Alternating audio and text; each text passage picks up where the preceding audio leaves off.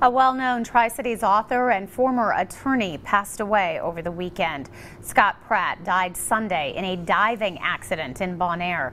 Family members confirmed the news on Facebook. The crime fiction writer released his newest book, The Sins of the Mother, last week. Volunteers